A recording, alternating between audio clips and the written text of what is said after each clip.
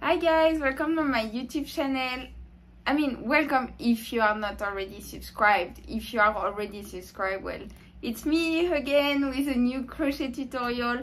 I'm super happy to be with you again this week. I'm gonna show you how to make this cute cactus very good you know to decorate your apartment when you don't know if it's end of summer beginning of fall you know like you are kind of confused. Like i was because it got cold like super fast. I was like oh i want to make a transition item a cactus which is super summery but with some like fall color right here.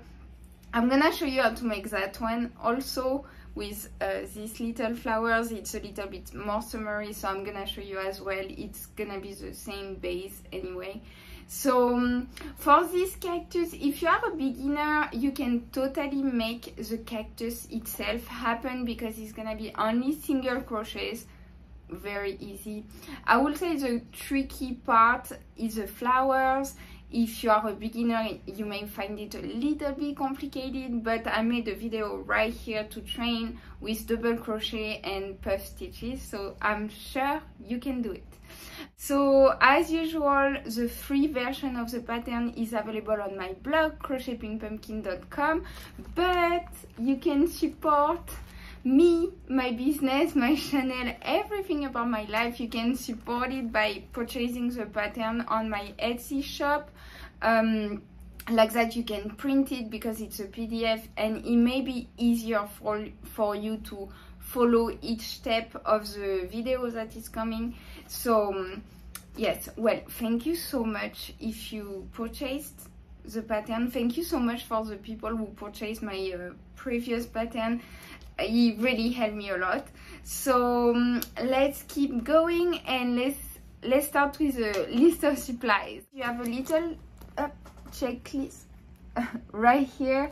So you can check every time you have something every time you need something you just you know like make a little cross and let's get started with the yarn. So Bernat blankets like that. You see it's a super thick yarn. Is to make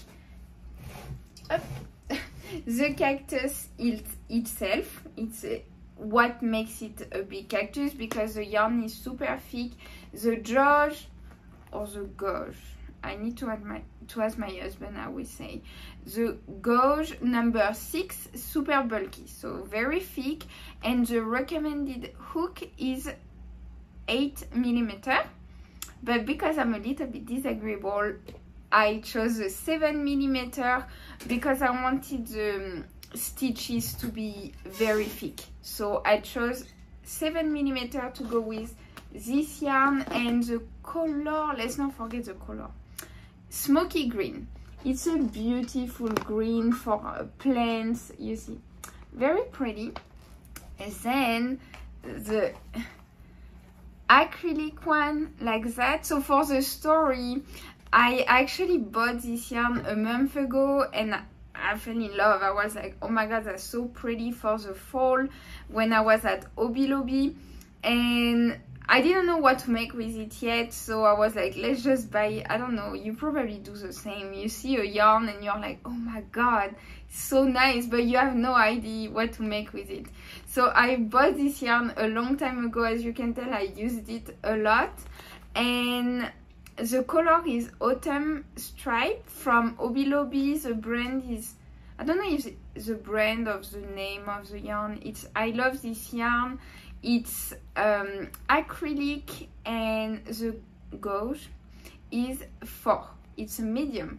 So for the pattern uh, you will see it's written in the pattern I use both ends of the of the yarn because I wanted a, a thicker thread so I, I just doubled it.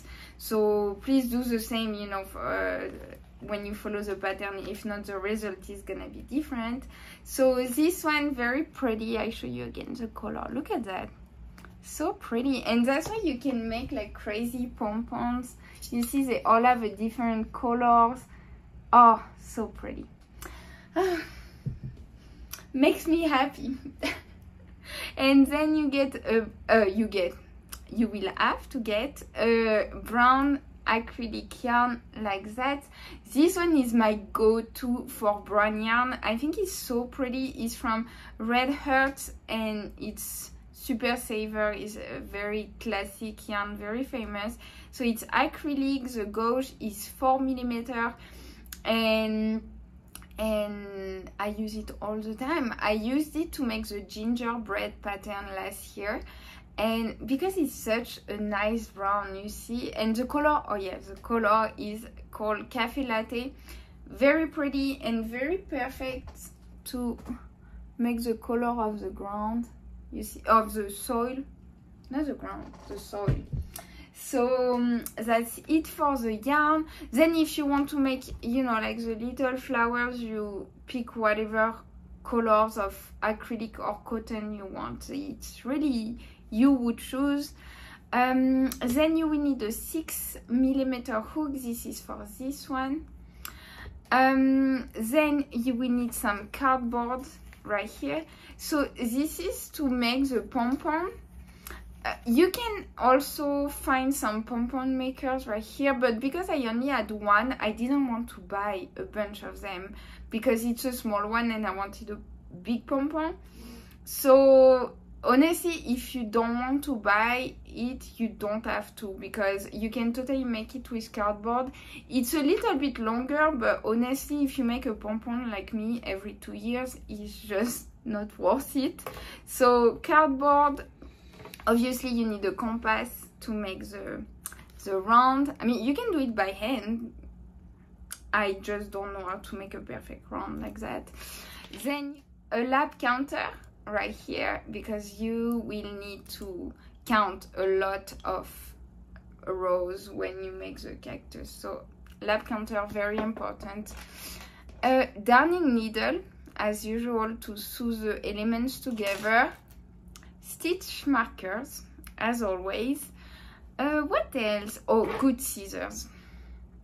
Because when you will at the end of making the pompon you will need to cut in the in the slice i will say of the donuts you will have to cut so you need a very good one honestly i had one i don't know where it is I had one that was not good and I really struggled. So I bought a new one, this one. I'm very happy about it. And it's uh, Singer, you know, I believe it's a French brand. Yeah, I'm pretty sure. So I found it on Amazon. I will put the link. Very good to cut the pom-pom. And craft glue right here. I always use this one from Elmer's. It's perfect for crafting.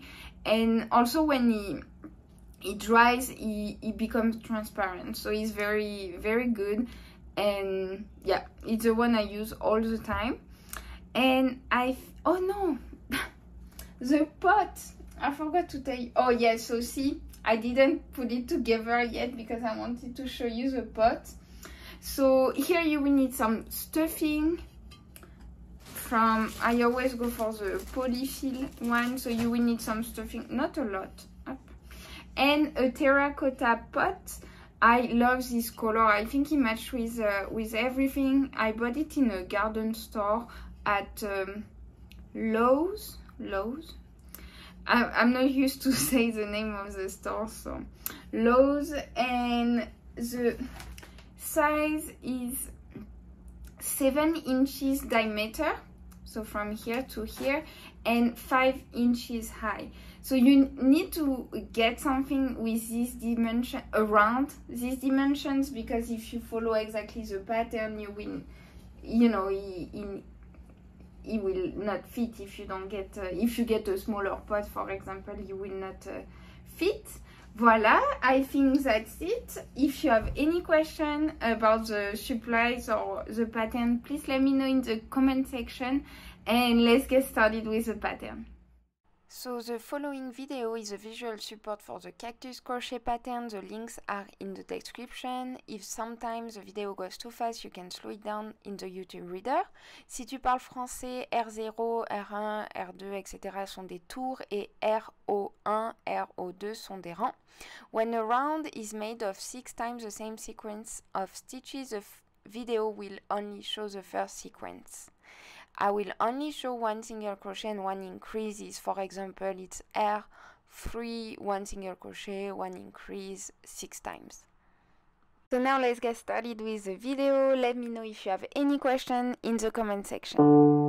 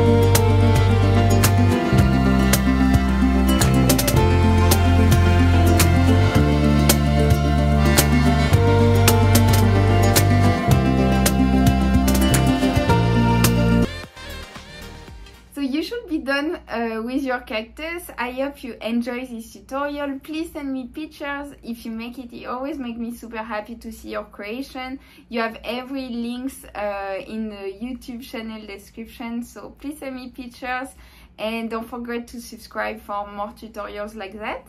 I see you very soon. Bye bye.